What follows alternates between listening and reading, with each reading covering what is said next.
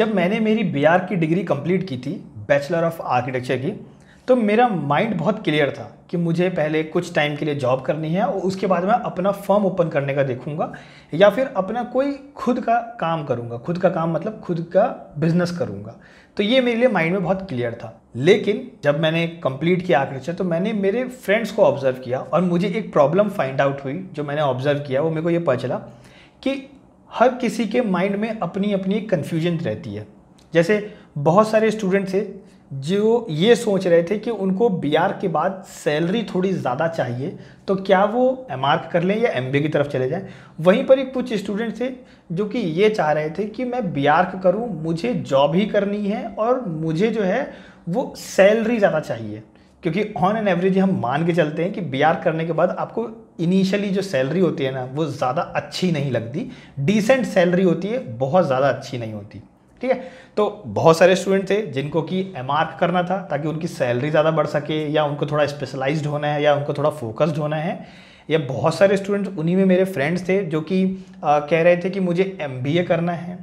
और बहुत सारे ऐसे थे जिनको कि बी करके ही ज़्यादा पैसे कमाने हैं, लेकिन जॉब से। सबसे पहले बात करते हैं, जब आप एमबीए का सोचते हो तो आप ये मान के चलिए कि आप बी बैचलर ऑफ़ आर्किटेक्चर कर चुके हो और आप एमबीए की तरफ़ जा रहे हो means masters in business administration की तरफ़ जा रहे हो। इसका मतलब ये है कि आप आर्किटेक्चर की डिग्री ऑलरेडी देख चुके हो आर्किटेक्चर वर्ल्ड ऑलरेडी देख चुके हो, अब आप बिज़नेस वर्ल्ड देखने जा रहे हो। तो आपका जो वो विजन होगा ना, वो थोड़ा ब्रॉड हो जाएगा। आपका जो स्पेक्ट्रम होगा, वो थोड़ा सा ब्रॉड हो जाएगा। आप थोड़ा सा ज़्यादा मतलब एक्सपोजर लेने की कोशिश कर रहे हो। आर्किटेक्चर प्लस बिज़नेस तो आपका जो विजन है वो थोड़ा ब्रॉड होगा।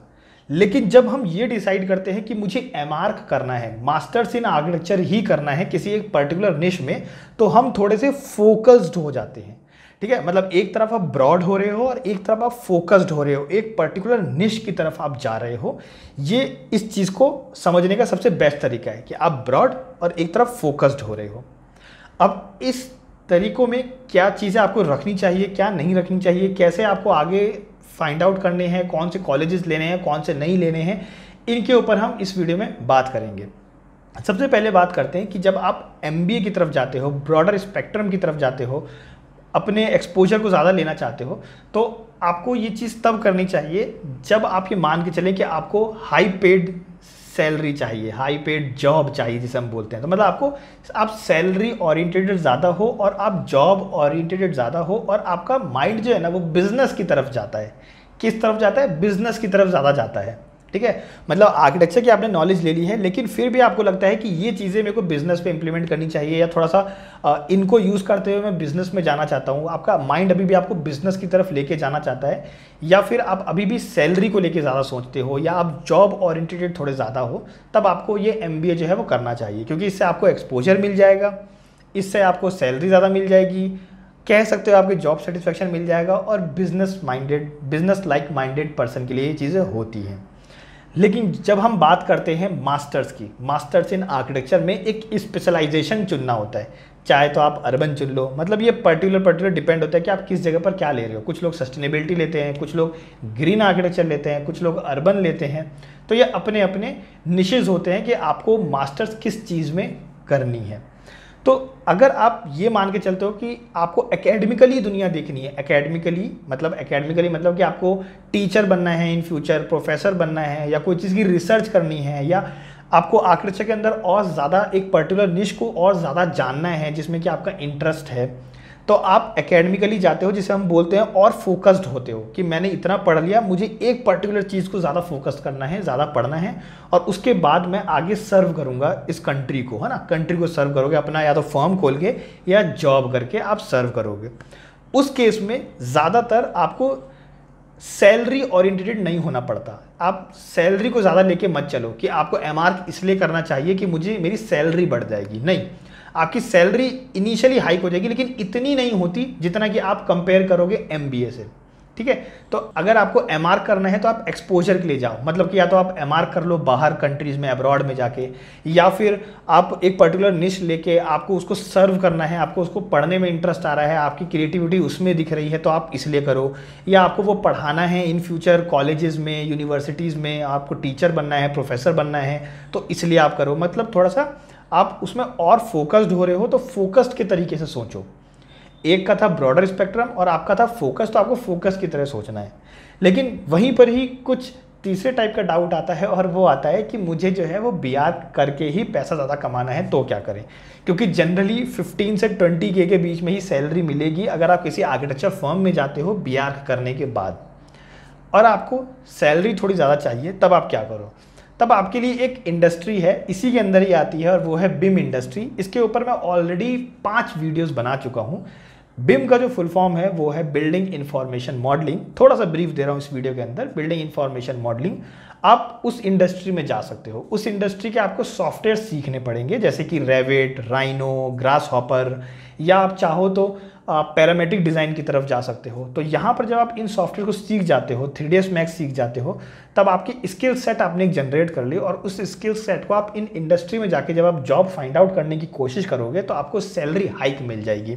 मतलब यहाँ पर आपको सैलरी ज़्यादा देखने को मिल जाएगी। एक बी आर किए हुए स्टूडेंट को अगर सैलरी ज़्यादा चाहिए तो वो या तो पैरामेट्रिक डिज़ाइन या फिर बीम इंडस्ट्री की तरफ़ जाए तो वो ज़्यादा बेटर रहता है।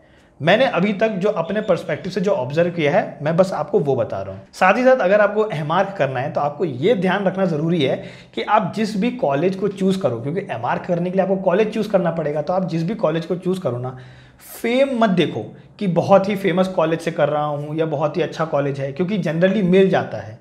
ठीक है? लेकिन आप कभी भी नाम के पीछे मत भागो ब्रांड के पीछे मत भागो कॉलेज चूज़ करते वक्त। आपको इस चीज़ का ध्यान रखना है कि वहाँ पर एक्सपोजर ज़्यादा अच्छा हो और वहाँ पर फैकल्टीज़ अच्छी हो जो कि आपको एक्सपोजर दे सके। ये दो बातों का ध्यान रखना ज़रूरी है। नहीं तो आप एंड अप होगे एक बेकार से एमार्क करके। मतलब कि आपका ना एक्सपोजर होगा, ना कुछ होगा, बस आपको डिग्री मिल जाएगी और उससे एक बेसिक सैलरी जो है वो हाइक हो जाएगी। बेसिक सैलरी बढ़ जाएगी, बस। ठीक है? लेकिन आपको एम आर वहाँ करना है, क्योंकि आप फोकस्ड हो रहे हो तो आपको एक्सपोजर ज़्यादा चाहिए उस फोकस्ड वाले चीज़ों में। तो इसलिए कोशिश करो कि जहाँ फैकल्टीज़ अच्छी हो और जहाँ पर कंटेंट अच्छा हो मतलब कि जहाँ पर पढ़ाई अच्छी होती हो, जहाँ पर एक्सपोजर अच्छा मिले, आप उस कॉलेज में जाओ, भले ही चाहे उसका नाम हो और चाहे नहीं हो। लेकिन जब आप एमबीए स्विच करते हो, आपको एमबीए की तरफ़ जाना है, तब आपको ये ध्यान रखना है कि एमबीए में ना आपको ब्रांडेड कॉलेज की तरफ़ जाना है, जहाँ पर उस कॉलेज का नाम हो, जहाँ पे उसका सिक्का चलता हो मार्केट के अंदर। क्योंकि जो रिक्रूटर्स होते हैं ना, जो आपको जॉब देने आते हैं प्लेसमेंट में, या आप जब जॉब के लिए अप्लाई करते हो इंटरव्यू के लिए जाते हो तो वहाँ पर ना वो आपको सबसे पहले कॉलेज का नेम देखना पसंद करते हैं, और वो उसका ब्रांड देखना पसंद करते हैं कि इसका नाम कितना है इस कॉलेज का। ठीक है तो आपको एमबीए करते वक्त ये ध्यान रखना है कि आप जब एमबीए चूज़ कर रहे हो तो आपको ब्रांडेड कॉलेज की तरफ़ जाना है प्रायोरिटी आपकी वो रहनी चाहिए। जब आप एमआर को चूज़ कर रहे हो तो आप ज़्यादा सैलरी की तरफ़ मत जाओ एकेडमिकली सोचो और थोड़ा फोकस्ड हो जाओ। लेकिन साथ ही साथ आपको फैकल्टीज़ का सोचना है और एक्सपोजर ज़्यादा मिलना चाहिए कॉलेज के अंदर, वो आपको ध्यान रखना है। और जब आप बीआर से पैसा ज़्यादा कमाने की सोचते हो, तब आपको इस बात का ज़रूर से ध्यान रखना है कि आपको बीम इंडस्ट्री या पैरामेट्रिक डिज़ाइन की तरफ़ जाना है तो आपको इनिशियली सैलरी जो है वो बहुत अच्छी मिल जाएगी। इनिशियली मतलब स्टार्टिंग सैलरी आपको बहुत अच्छी मिल जाएगी। और इससे क्या है, आप बाहर अब्रॉड में भी जाके काम कर सकते हो, फिर वहाँ पर तो आपकी सैलरी डबल हो जाती है डबल ट्रिपल वहाँ पे वहाँ पे अपॉर्चुनिटीज़ ज़्यादा हैं। अगर आप पैरामेट्रिक डिज़ाइन या फिर आप बिम इंडस्ट्री की बात करते हो तो वहाँ पर ज़्यादा है। बिम की पर्टिकुलर आपको वीडियोस देखनी है तो पूरी सीरीज़ बना रखी है मैंने ऑलरेडी पाँच वीडियोस उसके अंदर मैंने बना रखी है। उनका लिंक जो है मैं आपको नीचे डिस्क्रिप्शन में दे दूँगा, वो जाके चेकआउट कर सकते हो। लेकिन ये आपको याद रखना है कि अगर आप कंफ्यूज हो एम और एमबीए में तो आपको ये ध्यान रखना है कि आपको ब्रॉडर सोचना है ब्रॉडर एक्सपोजर चाहिए। आप business minded business like minded person हो तो आप ज़रूर से एमबीए चूज़ करो। और अगर तब थोड़े से फोकस्ड हो आर्किटेक्चर के अंदर ही आपको थोड़ा और मज़ा आ रहा है और थोड़ा सा अंदर और प्ले करना है, उसके बाद आपको सर्व करना है अपना फर्म खोल के या जॉब खोल के, तब आप एम करो। एक पर्टिकुलर स्पेशलाइजेशन में। लेकिन एम करते वक्त आपको ये चीज़ ध्यान रखनी है, ये मैं आपको अपनी तरफ़ से बता रहा हूँ कि पहले आप एक से दो साल जॉब कर लो। बीआर करने के बाद एक से दो साल जॉब कर लो, उसके बाद एम करो, ताकि आपको ये पता रहे कि आपको किस फ़ील्ड में एमआर करना है।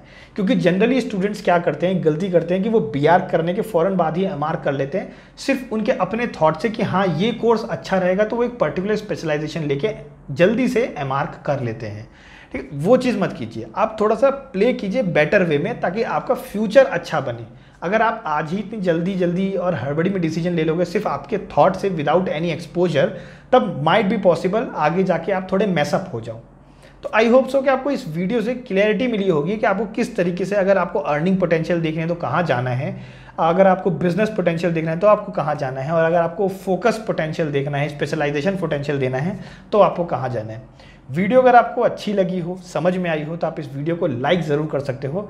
और अगर आपको कोई डाउट हो तो आप कमेंट करके ज़रूर पूछ सकते हो। कमेंट में अगर आपको रिप्लाई नहीं मिले तो आप कोशिश कीजिए कि आप मेरे को पॉप आर्ट डिज़ाइंस जो मेरा इंस्टाग्राम आईडी है, वहाँ पर आप मेरे को जो है मैसेज करके आप पूछ सकते हैं। लेकिन प्रायोरिटी आप ये रखिए कि आप कमेंट करके पूछिए, क्योंकि कमेंट मेरे जनरली नोटिफिकेशन में आ जाता है, मैं वहाँ पर रिप्लाई कर देता हूँ। Thank you